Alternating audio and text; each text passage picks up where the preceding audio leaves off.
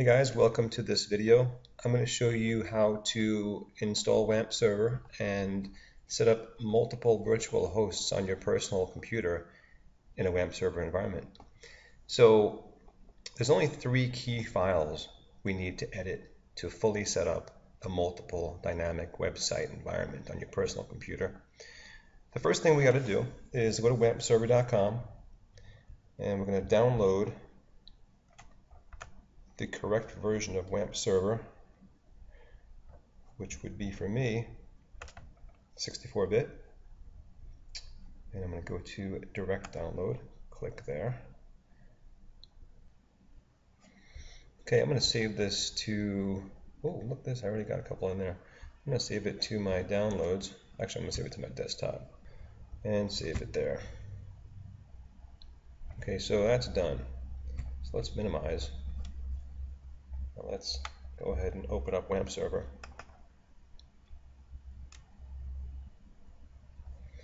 And we're going to click next. This is a very basic installation. Accept. Next. I'm going to install mine on the C drive, the root of my C drive. Click next. There it exists because I had one in there previously, but say yes. For me, say yes, right? And click next, create a desktop icon, click next, install. This may take a few minutes, but I'm going to skip ahead. Okay, so here we are. and it, WAMP server wants us to select a default browser. I'm going to choose a different browser. I prefer to use Google Chrome.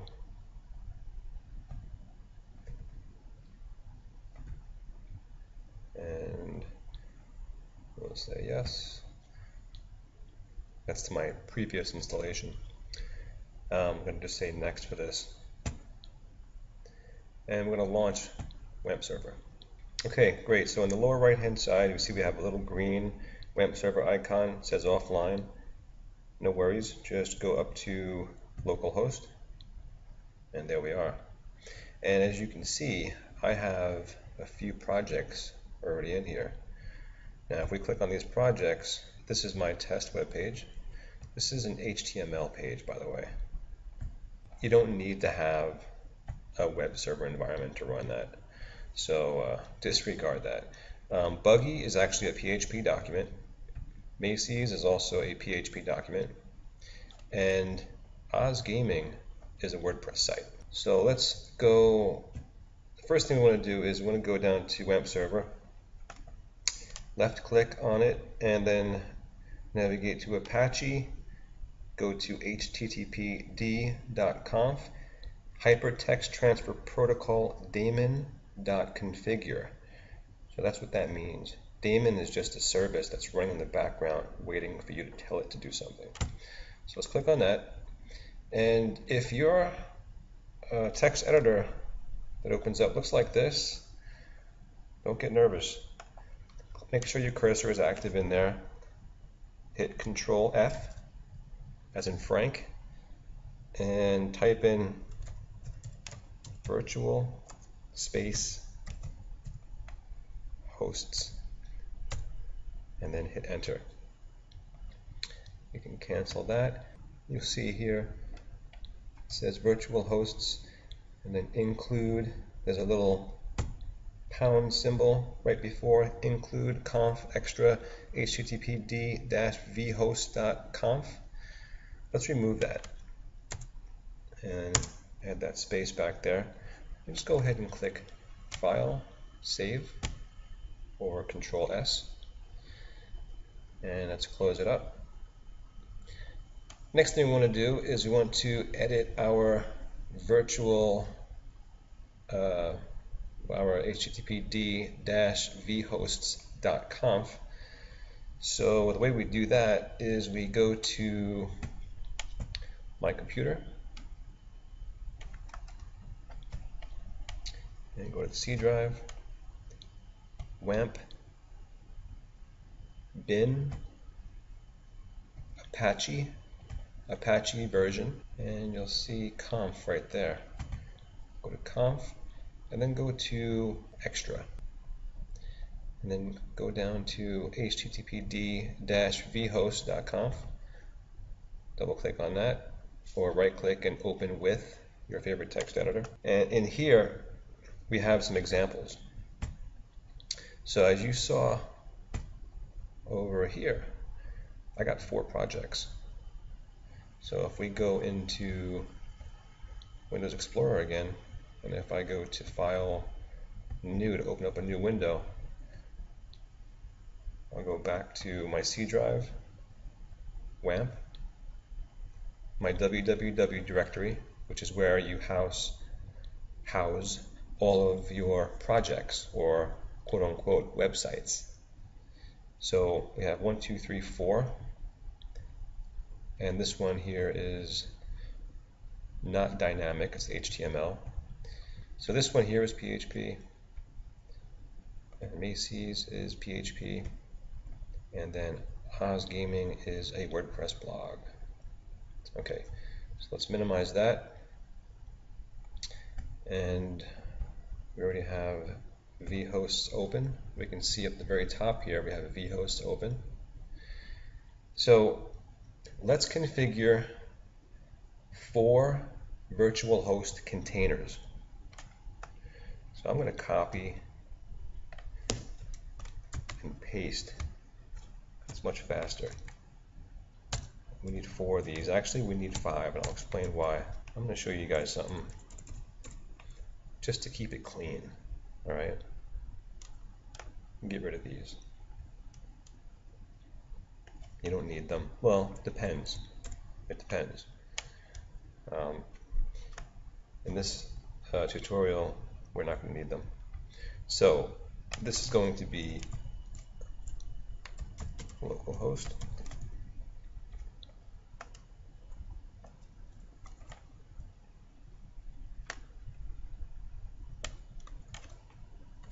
Whoops. And this is going to point to our local host directory.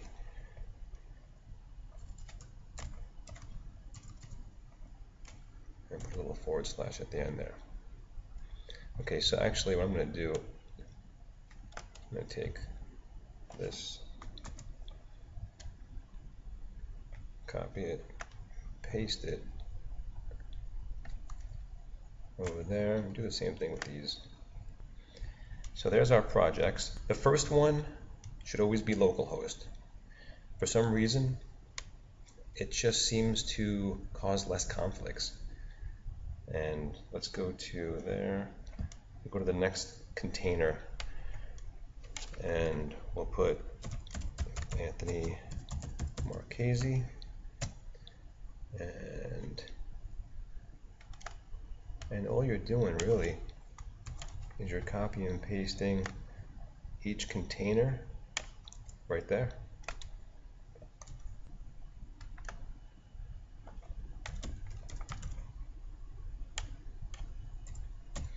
Oz Gaming, if you're curious, is a community that I created about five years ago. Okay, so that's done. All right, see the way this looks? This is all you need, and they will work. So let's go to File, Save. Let's just minimize that. The last thing we have to do, and it's very important, we have to go to our host file. Windows, the system has to know what we're trying to do. So we do Windows S and we type in Notepad and we right click and we run as administrator. File open. The root of C, Windows, System32, drivers, etc.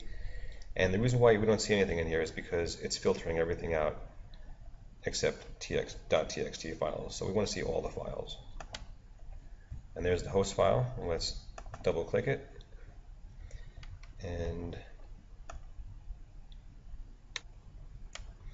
I've actually got them in here already. You can put them up top, you can put them at the bottom. Um, I'm just going to uncomment these, remove the hash symbol.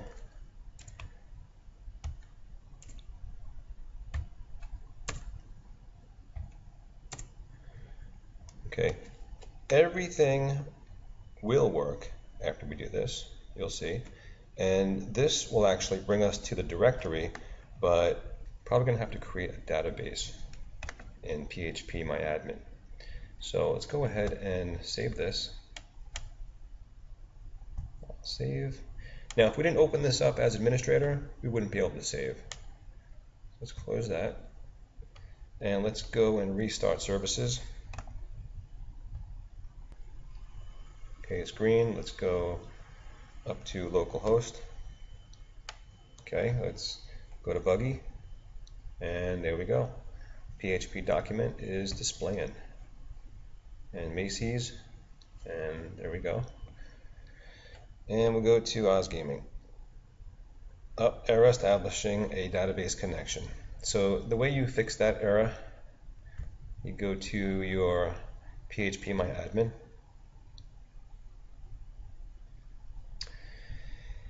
And we have Oz Gaming here.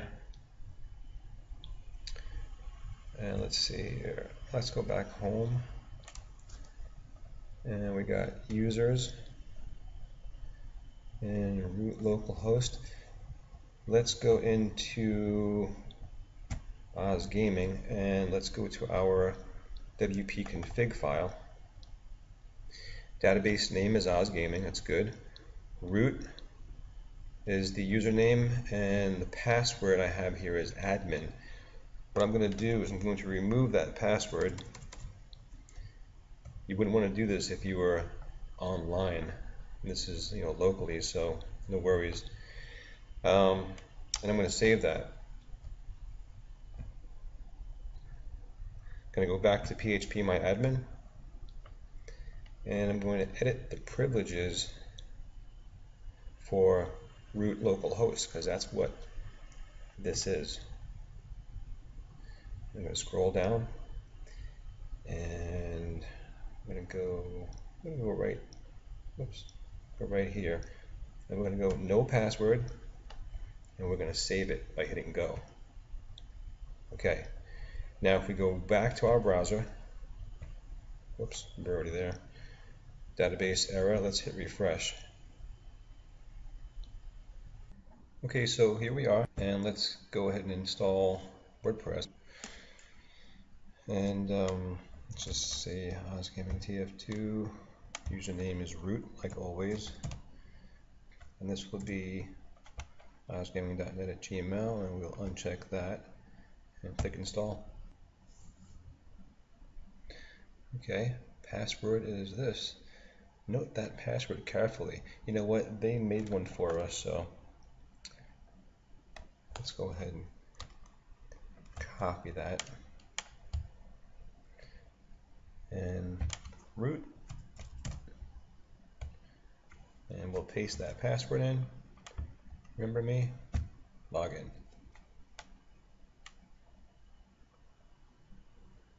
Cool. Sure. Let's take a look at the home page looks like everything worked out. So I hope you guys enjoyed this video. Hope you learned something. And if you have any questions or comments, please post them below. And if you like this video, definitely give it a thumbs up. Thanks for watching.